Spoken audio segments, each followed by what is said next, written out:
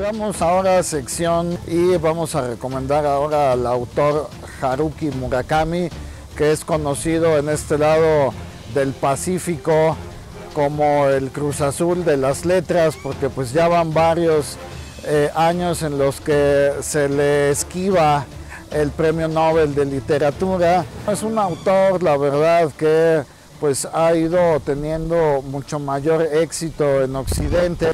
Eh, novelas como After Dark, como Crónica del pájaro que da la vuelta al mundo, como Kafka en la orilla, eh, Sputnik, mi amor, pues son novelas que están eh, muy muy cargadas de una nostalgia. Ojalá un día se le haga el premio Nobel de literatura, sumamente importante para las letras contemporáneas. Léanlo, es un autor que pues es parte de la cultura popular mundial.